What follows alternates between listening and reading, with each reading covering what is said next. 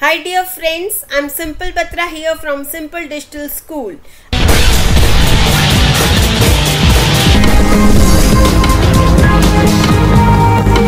I welcome each one of you today on 21st lecture of Management Information Systems or Information Systems Management which is actually a subject of BBA, BCom Honors, MBA and BCA in many of the universities. So we have already started up with many other lectures. You can find the links in the description box. Let's start with today's topic. We have already started with the system development that is SDLC or SDLC के अलग अलग models. So today we are going to start up with the SDLC model 5 which is iterative and incremental method or model right? So let's start. Types of sdlc models or we call it methodologies of system development also. So we have already covered up these waterfall model v-shaped model evolutionary model spiral model in the previous lectures. And today we'll be talking about iterative and incremental method which is red colored here and agile development will be covering in the next lecture. So let's start iterative or incremental method. The same is called as iterative incremental model also. So today firstly we'll be talking about what is iterative incremental model. Its complete diagram we'll be talking about its advantages, disadvantages and later when to use this particular model that is in which situations we can opt for this model.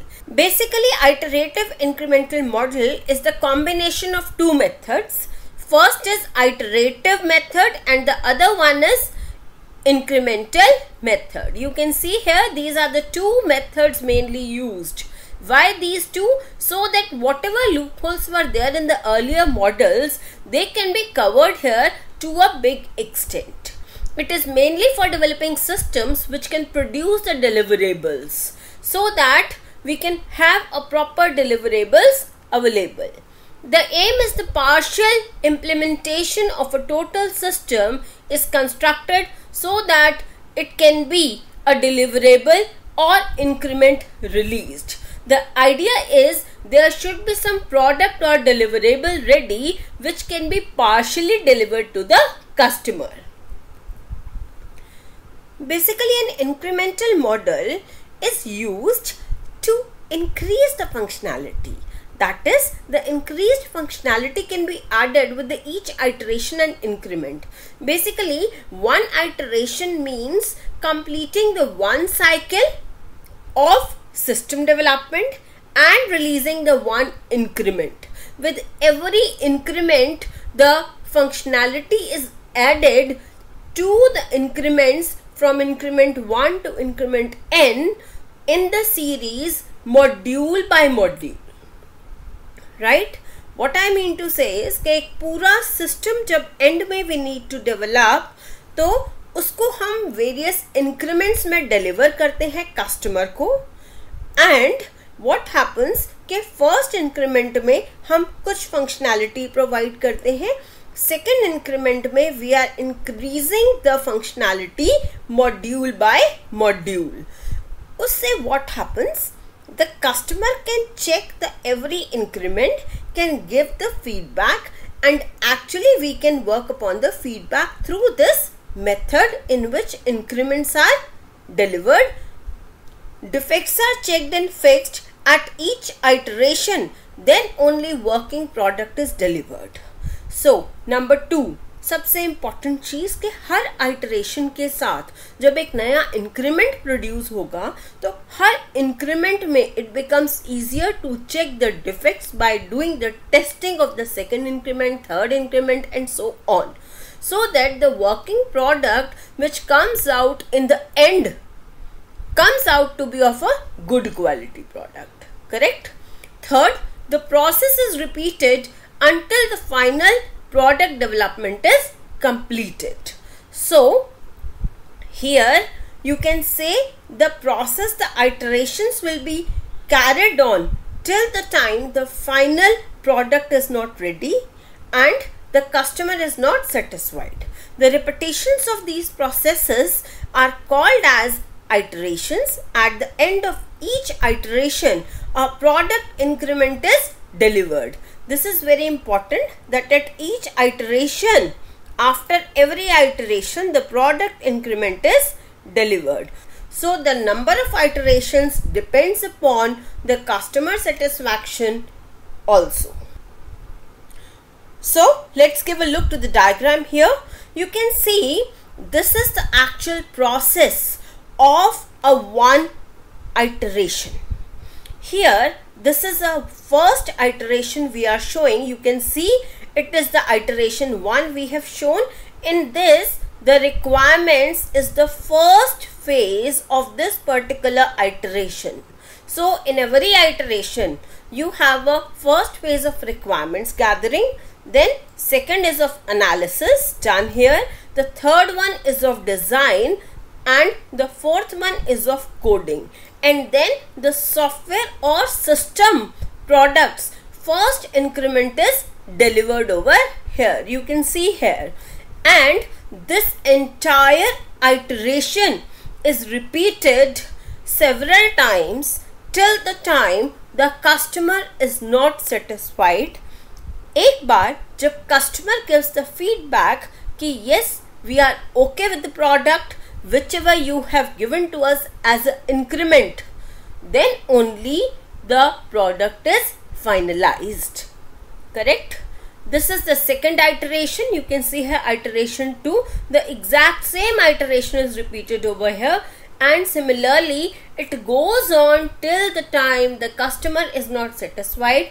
That is why iteration n that is it depends upon the satisfaction level of a customer also that how many iterations will be carried on so first iteration से लेकर n number of iterations तक पूरा का पूरा process repeat होगा requirements gathering analysis design coding ये चारों phase हर अल्टरेशन में रिपीट किए जाएँगे सो so दैट हमारी सारे रिक्वायरमेंट्स में जो चेंजेस आते हैं they can be accommodated very easily in the next upcoming increment defects errors check होंगे तो क्वालिटी इंप्रूव होगी टेस्टिंग अच्छे से हो जाएगी right and the customer evaluation is also done side by side so let's talk about these four phases of the incremental development now requirements phase it deals with the scope of the project so this is same as we have a requirements phase of SDLC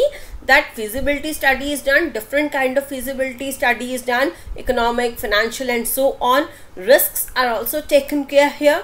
Then analysis phase which is the second phase of your every iteration here. Functional and non-functional requirements are identified clearly here. And generally this is the second phase of SDLC which we have studied earlier also. Design phase it delivers the working architecture of components incrementally. This is important here कि यहाँ पर हर increment के साथ design में उसका architecture change होगा because requirements हर बार रिफाइन होंगी। So creation of complete logical design with the interconnection of various modules देखिए, हम जब बात करते हैं architecture of a system means multiple modules which will be the part of the system. They are interconnected together here and checked that how they actually behave with each other. तो यहाँ पर जब हम इंक्रीमेंट्स की बात कर रहे हैं आइटरेटिव मॉडल की बात कर रहे हैं तो हर आइटरेशन के अंदर देखिए आप रिक्वायरमेंट्स भी रिफाइन हो रही हैं।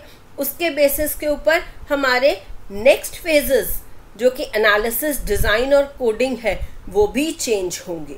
So this is what it means here कि आर्किटेक्चर में चेंज आएगा। कोई मॉड्यूल बढ़ भी सकता है और कोई मॉड्यूल कम भी हो सकता है।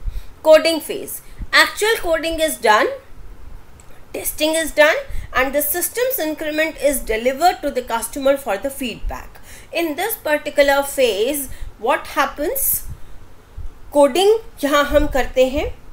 टेस्टिंग करते हैं to check out for the defects errors of the bugs and her iteration के एंड में, ये जो लास्ट फ़ेज़ है, इसमें इंक्रीमेंट को डिलीवर किया जाता है कस्टमर को so that the customer can check it completely and give the feedback accordingly which the next increment can be prepared so what are its advantages और strengths you can develop prioritized requirements first whenever we are using iterative incremental model. So first वाला जो हमारा iteration होगा, उसमें सबसे important हम देंगे prioritized requirements को firstly then initial product delivery is faster why because first iteration के बाद ही सिस्टम का प्रोडक्ट का फ़र्स्ट इंक्रीमेंट कस्टमर को मिल रहा है, जो कि वाटरफॉल मॉडल में नहीं मिल रहा था वी मॉडल में नहीं मिल रहा था right customers get important functionality at an early stage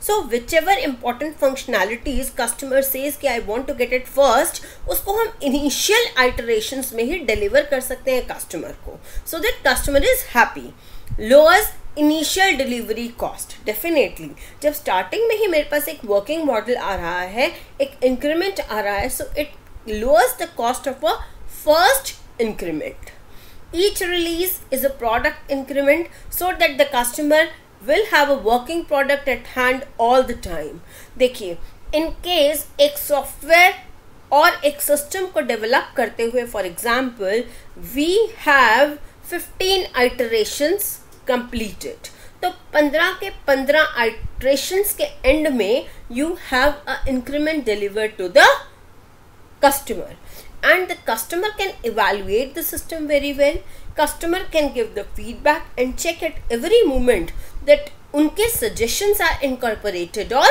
not properly so customer has a working model in hand after every iteration here customer can provide the feedback to each product increment thus end product is of a very good quality definitely her iteration के बाद एक नया increment है with the added functionality and the customer can check and give the feedback side by side.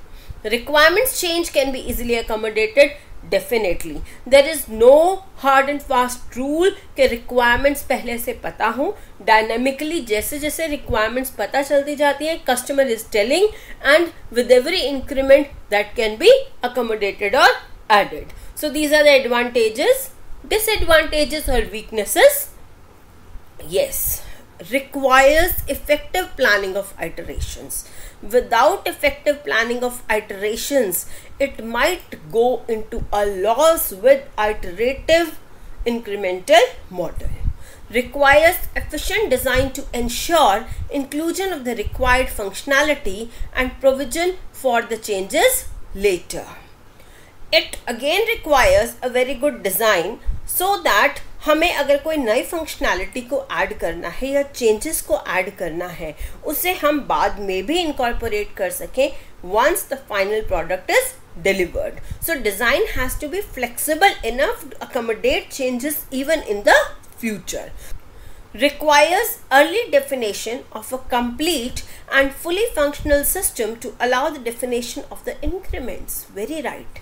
In iterative incremental model, we should know the fully functional requirements and their definition completely and clearly. Why? Because अगर मुझे 15 increments में या 10 increments में पूरा system develop करना है so I need to divide those requirements in the separate modules which can be added in those 10 increments in a systematic way. Well defined module interfaces are required to plan the sequence in which modules will be developed. Very correct. Module interfaces is the main medium of interaction between the customer and the system which will be developed.